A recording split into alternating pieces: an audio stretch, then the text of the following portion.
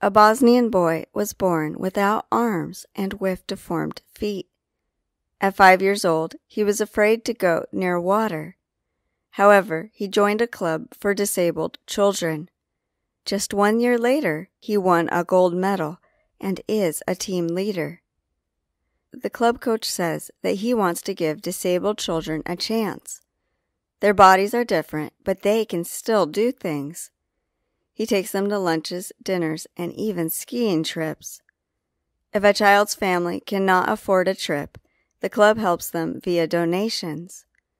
The team is currently training for this year's European Championship for disabled swimmers.